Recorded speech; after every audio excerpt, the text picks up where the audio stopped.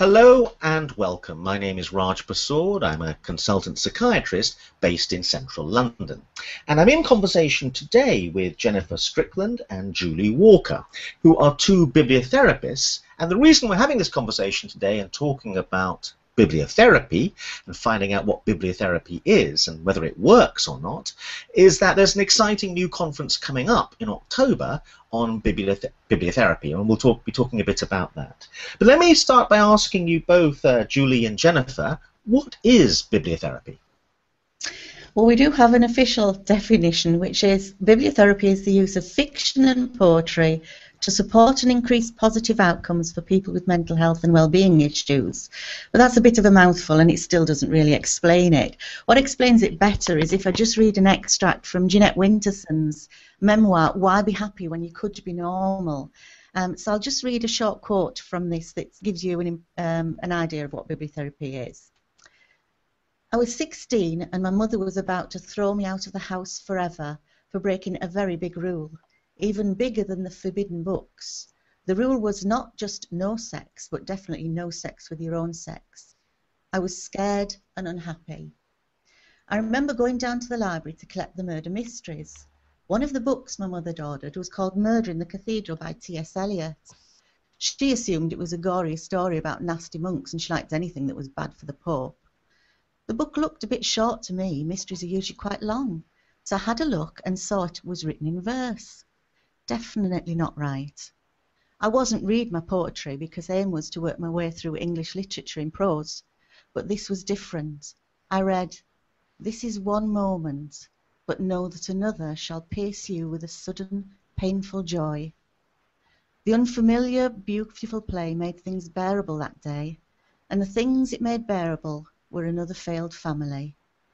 I was confused about sex and sexuality and upset about the straightforward practical problems of where to live, what to eat, and how to do my A levels.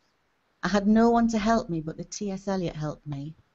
So when people say that poetry is a luxury or an option for the educated middle classes, or that it shouldn't be read at school because it's irrelevant, or any of the strange and stupid things that are said about poetry and its place in our lives, I suspect that the people doing the same have had things pretty easy a tough life needs a tough language, and that's what poetry is.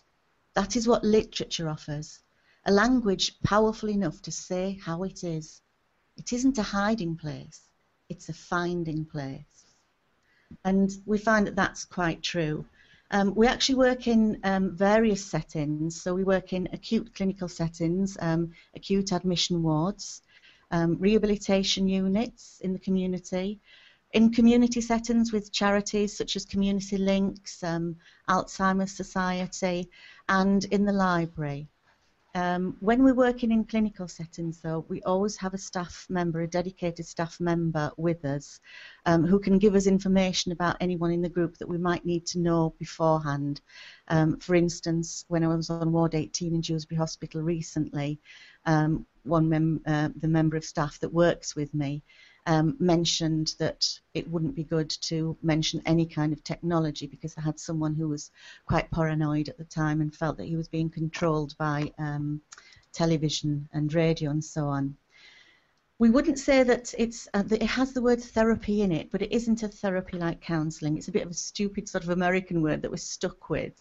Um, but it, and it isn't a replacement for counselling, but it's like an added alternative that we found gives access to the person underneath the illness and also helps them to express themselves better. Um, it's not about bringing literature to people, but about using the literature as a tool to help the people.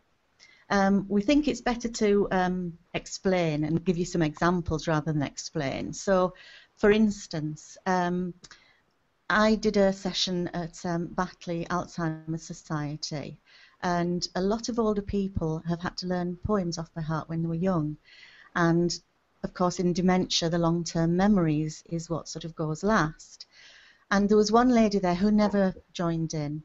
And she joined in this time. In fact, I only had to give her the first two lines, and she was off joining in. And she really engaged with that session and was laughing and talking afterwards as well. And her husband came up to me at the end of the session and said, Thank you for that because it's just reminded me of who she is, why I love her and why I'm putting up with all this stuff because for a short while there, she was her old self again.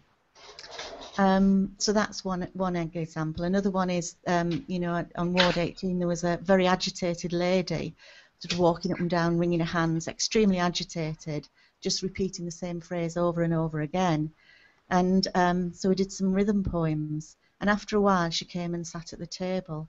And after a while, she stopped repeating um, the things that she was repeating. Um, so it does um, sort of work in, in that way. Um, Judith Hooper, our Director of um, Public Health, is very enthusiastic about what we do. Um, and there is actually um, a video, a short 10 minute DVD that people can access to see what we do. It's on http um, colon two forward slashes vimeo.com forward slash well into words. And there's some beneficiaries on there. But I think Jennifer's got some examples to give as well. Okay, Jennifer. Um, one of the examples that I've got, when Julie and myself met up yesterday, we just found that examples were coming thick and fast. But one particularly unusual set of circumstances was a gentleman that I'd been working with who um, suffered from bipolar, and this was probably a few weeks after um, a very serious suicide attempt. And we were sat talking, and I asked him about what he was reading, and he told me he was reading something by H.P. Lovecraft, which is very dark and very sinister. And I was a bit uncomfortable with the fact that he was reading something like that, and I put that to him. And he said, No, I know what you mean, but when I'm reading the, the book, those dark and gruesome thoughts are in that book, and I'm distracted from my own dark thoughts. And he said, But when I close that book, the dark thoughts of the story stay in that book and all of a sudden my problems are a bit easier because I've had some time out just to sort of get myself together again. So it was quite an unusual set of circumstances that that came across. And if he'd have said to me, um, you know, given the circumstances, I would like to read something by Lovecraft, I would have actually said, oh, I'm not sure that that's a good idea. But it was just really interesting to see that this was something that he'd come up with himself and he was able to articulate the logic behind his decision. And it certainly did benefit as well.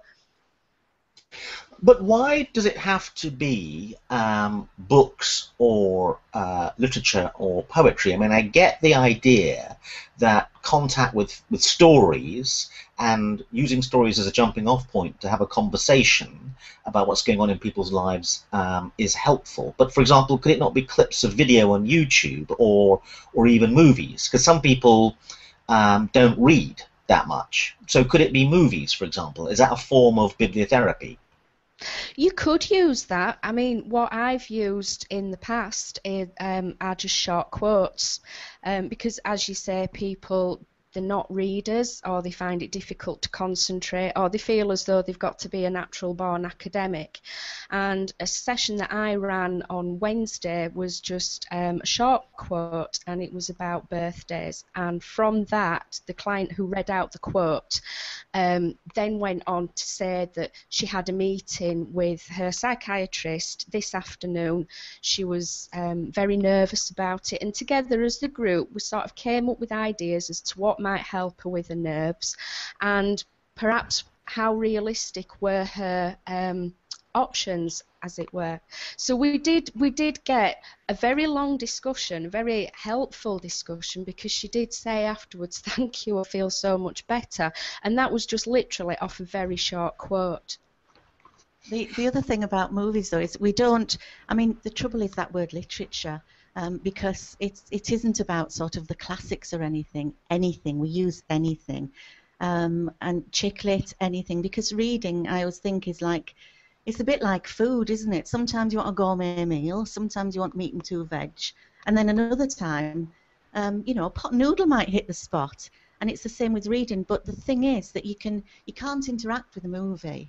You just watch it. You're not engaged with it.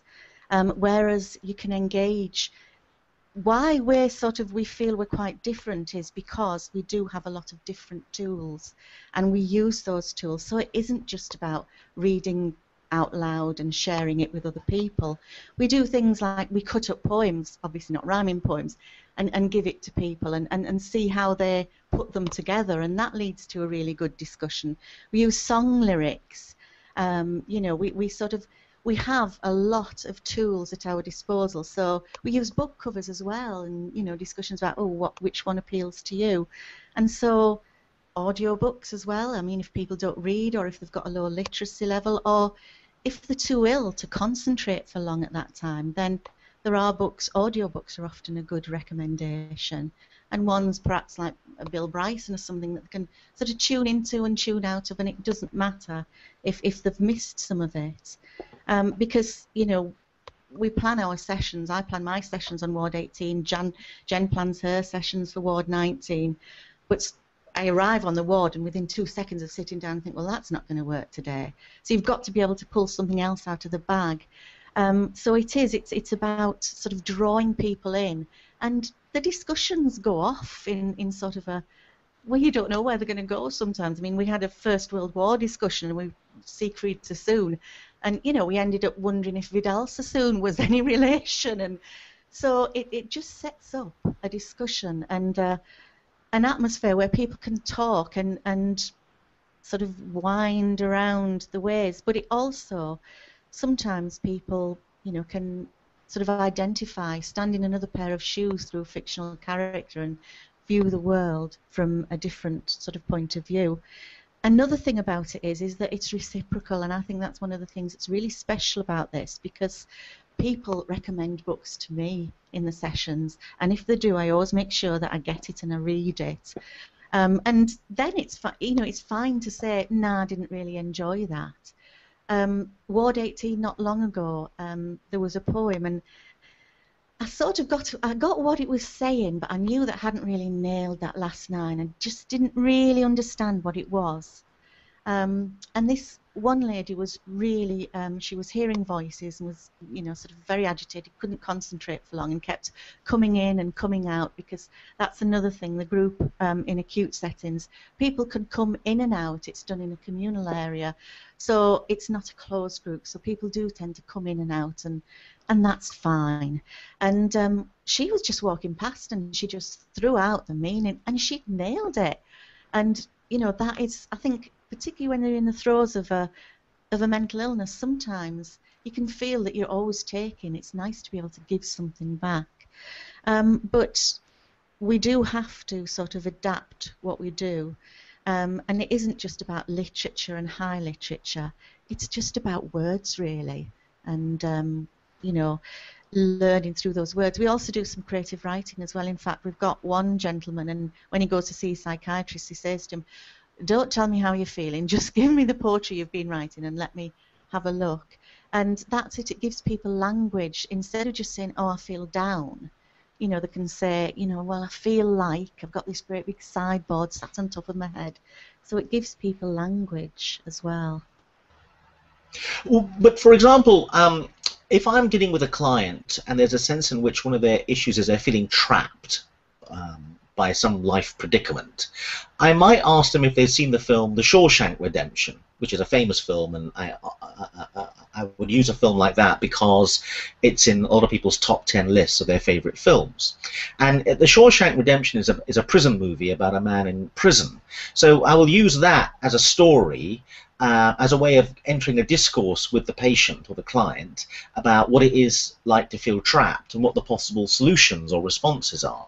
So what I'm driving at is that it feels to me that you're doing that, that you're using stories or fiction or some stimulus to engage with the patient uh, or the client. And so therefore, if I use the example of the Shawshank Redemption, which is just we're having a, we would then have a conversation about the, the movie, that sounds very similar to what you're doing. It, it does. It does sound quite quite similar. But the thing is, I think one thing is it's that the skill of the bibliotherapist is knowing um, what kind of um, piece of work to recommend, um, because you know it's it's it's hard to be it's easy to be prescriptive. But for instance, one person with depression might say, "Yeah, I want to read a book with a character who's got depression," and um, it really helped me. But another person might say, it's the last thing I want to read, it really didn't help me.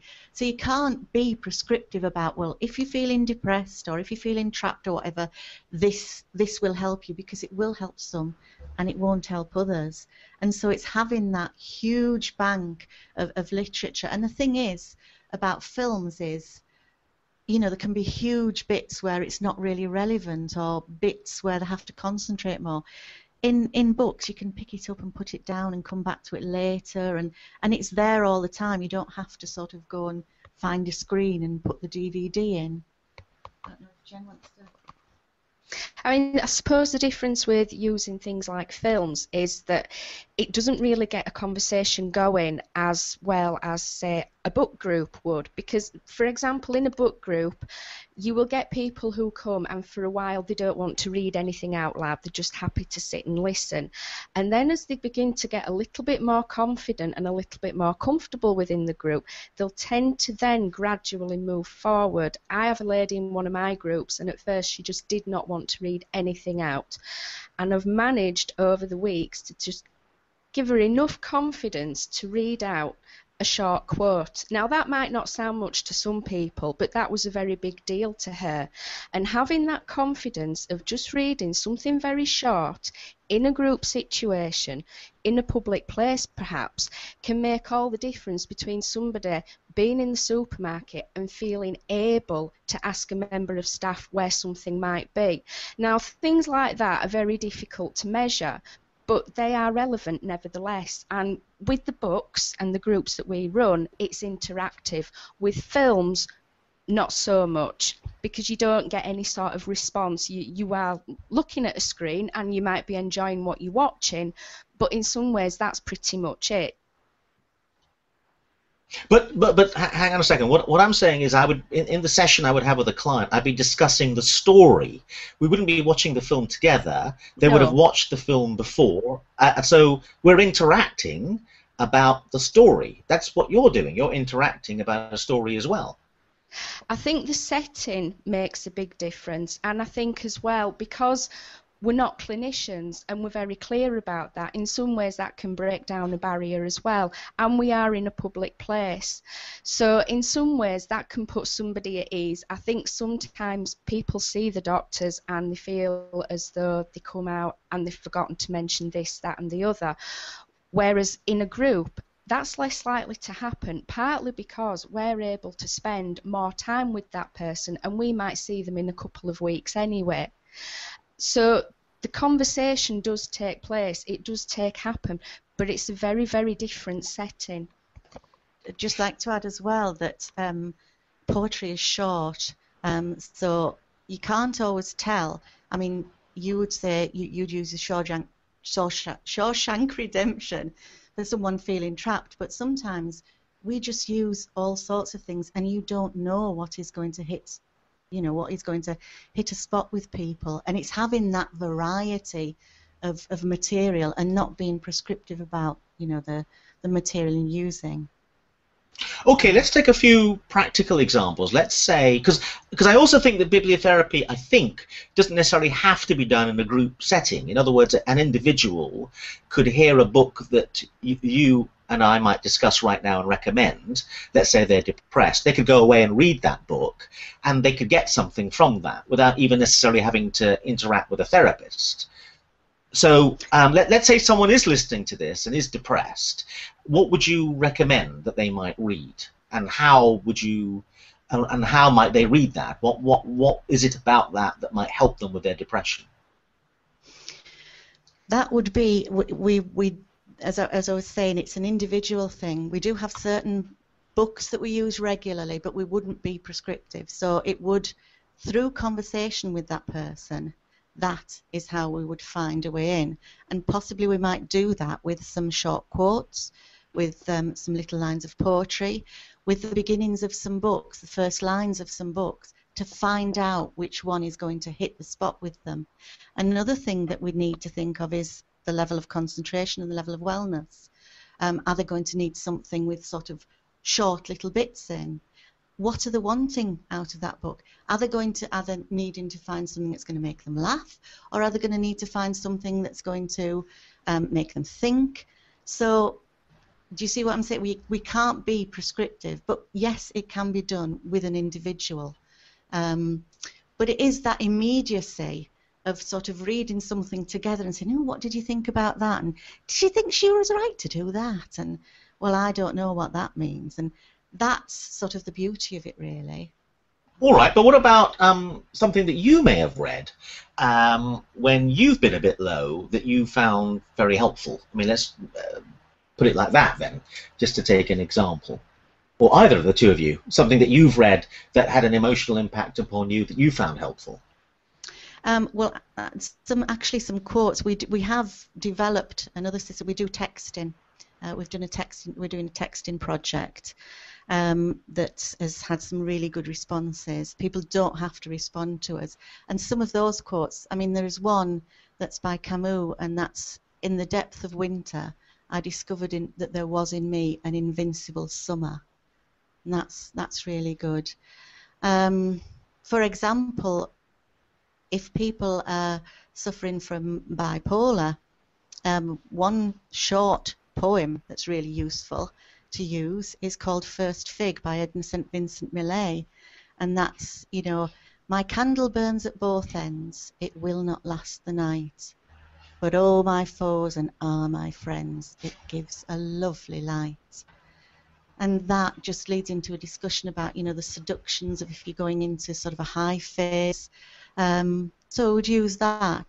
Toast by Nigel Slater is something that we usually use. I'll put you on to Jen and, and she can give some re- recommendations as well. Mm-hmm. Okay.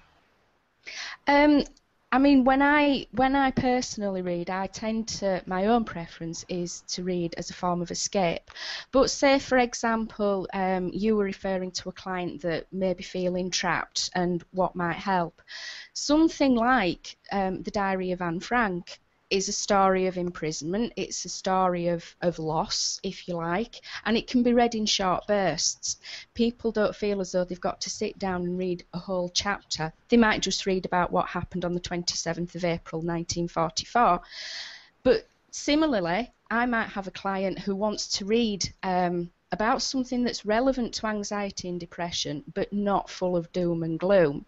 And off the top of my head, I would probably suggest something like um, Beyond the Great Indoors, which is by Ingvar Ambjörnsen. And it tells the story of two men who have recently been discharged from a rehabilitation unit. And one man has um, problems with anxiety and depression, and he struggles to use the telephone and he has a lot of intensive support. But what makes it all the more farcical is that his friend is actually a Neanderthal.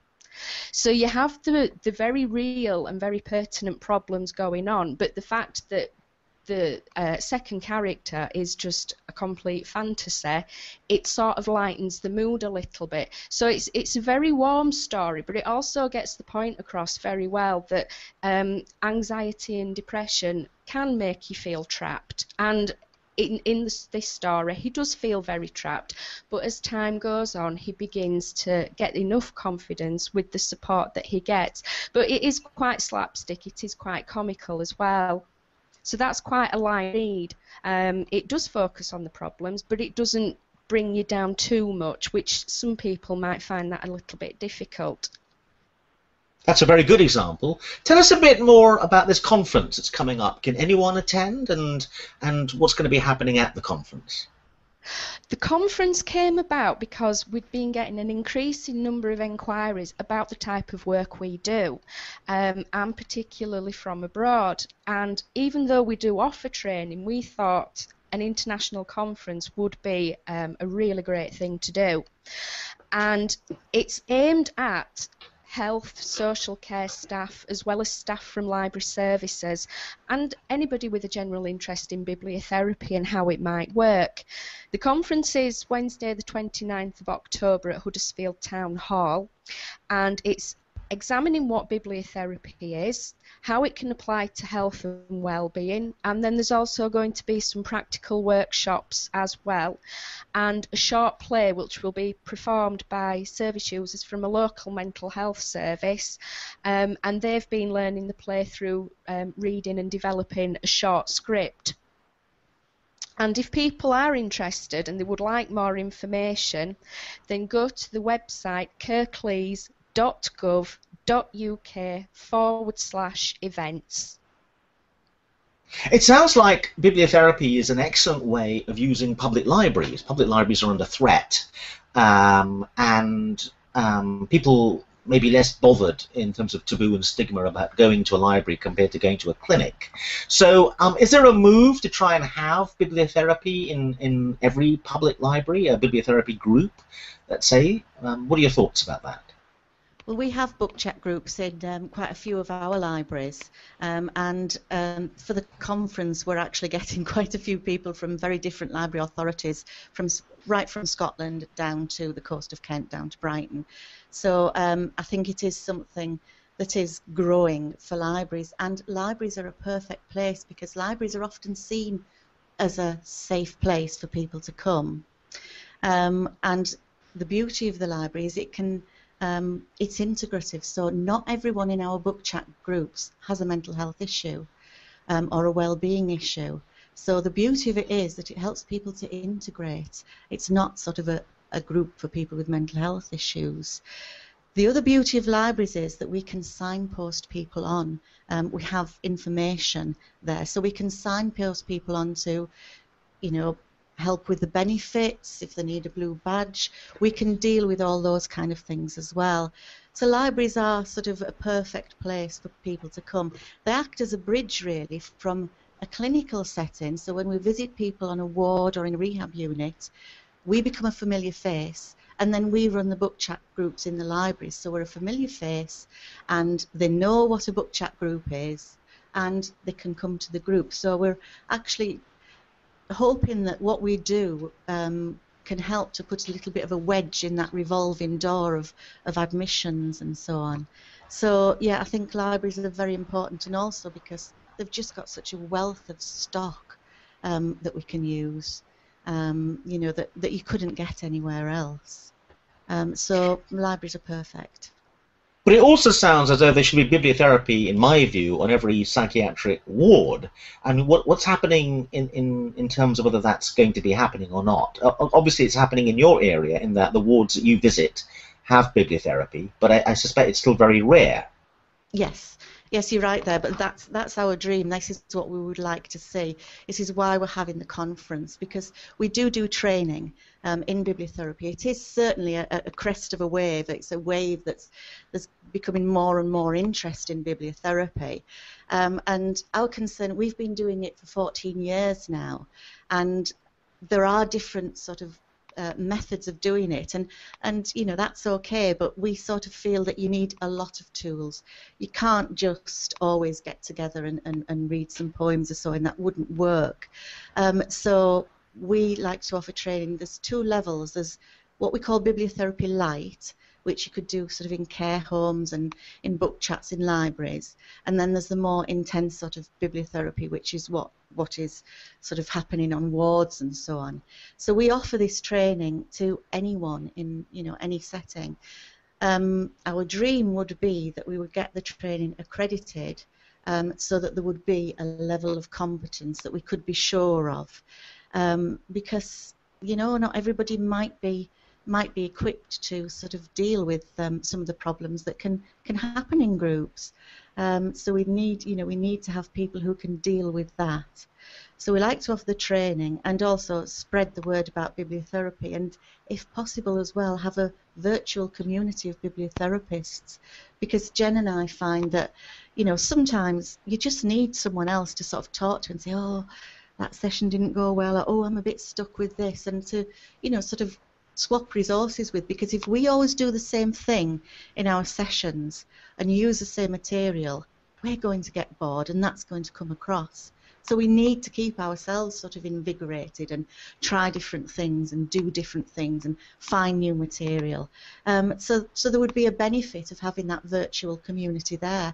And it certainly does help in the clinicians as well because it gives them access to the person. I think the future of bibliotherapy as well is that, um, I mean, I have um, used bibliotherapy on stroke wards, on neuro, people with neurological illness wards and also on um, people with spinal injuries wards because there is this thing um, I've heard the term comorbidity, which is an awful term, but people, for instance, Joe, one of our other bibliotherapists who's retired now, had a lady who had diabetes and her, her leg and her foot were breaking down. But because she was depressed, she didn't look after herself. So the diabetes, her leg and her foot became worse. And because they became worse, she got more and more depressed. And it was this sort of cycle of just, you know, nothing ever happening. And bibliotherapy can help to sort of break that cycle really.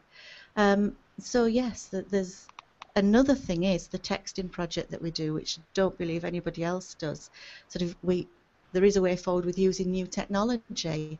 So it's constantly developing because the program that we've got is we've got 146 characters and we never do it at the same time. So people they'll get a quote once a week on the phone by text. It costs them nothing and they don't have to respond.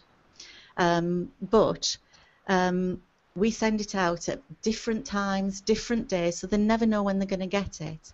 And it's just a short quote of, of, of poetry or a couple of lines or a quote from a book. And people have said that that really, really helps them. Um, you know, they've found it useful. People can respond if they want to, and um, I actually have got a, a response um, from um, a young man um, who um, from the texting project, and I'll just read out what he what he texted back.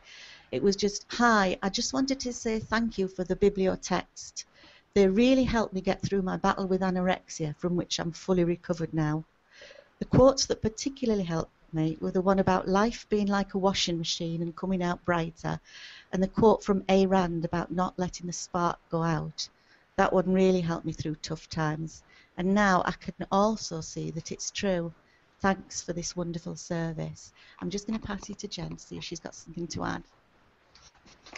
Um, I mean, I've also got um, examples from quotes that I've used that on the sound on the surface might sound quite profound, um, but one of the texts that I use, one of the quotes, um, isn't it nice to think that tomorrow is a day without any mistakes in it yet? And for somebody who's re- receiving the text, they might think, yes, that's quite profound, and they might see the gist of it. But if you were to tell them that it's a quote from Anne of Green Gables beforehand, they might think, well, that's a bit a bit um, immature, as it were. What? Why would you send me Anne of Green Gables? I don't even know what that is. But just taking out little snippets and texting them on to people, and they don't have to reply if they don't want to. Um, in previous posts, I found that there were a lot of service users who would buy a mobile phone, they didn't have anybody to contact. They just literally had mobile phones and I think some were so fixated on getting a mobile phone that when they did actually buy it the only people that whose numbers they could start may have been perhaps a next of kin or a doctor, but nothing social. So they can receive text messages such as these, and they can receive them at any time of day. As Julie says, we make a point of not sending them out every Thursday morning, for an ex- for example. But if they want to reply, they can do. But if they don't want to, and cost is something that everybody has to consider nowadays, they don't have to do that either. So it can just be a little bit of company um, for that person, and they don't necessarily have to pick it up, but it will still give them something to think about and perhaps talk about when they are around people. So how could people access that texting service? How would they? Is there a, a, website they could go to or another resource so they could access it? They could contact either myself or Julie um, via email. Um, my email address jennifer.strickland at kirklees.gov.uk. Julie's email address is juliewalker, juliei.walker at kirklees gov.uk and we can put them onto our mailing list and we will send them a text message once a week if that's what they would like. And there's no obligation on them. There's no obligation on them to reply. As long as they give us their phone number we can add them to the mailing list Okay, we're running out of time a little bit, and I'm going to put something to you that's going to make me very unpopular with both of you, I think. But um, my sense of talking to you is that you're both outstanding therapists, and um, I would love to be able to um, uh, refer um, patients of mine or clients of mine to you. But there's a problem with all therapies, which is that, for example, if you take cognitive behavioral therapy, which is seen as a sort of flavor of the month at the moment, and everyone's been recommended it, is that um, to be brutally frank, there's some very good cognitive behavioral therapists, but there are some who aren't very good. And it's not the CBT that matters so much, but it's the quality of the therapist. So I think that anyone coming to see either of you or experience bibliotherapy through either of you would definitely benefit because you're both clearly outstanding therapists. But the trouble is that bibliotherapy would work brilliantly in your hands, but it wouldn't work so well, in my view, in the hands of people who are less good uh, than you. So there's an issue about how do we make sure there's a very high standard of training and expertise in the field, in any psychotherapeutic field, because there's some practitioners that are brilliant, like the two of you, but there are quite a large number of practitioners who, frankly speaking, are a tad indifferent.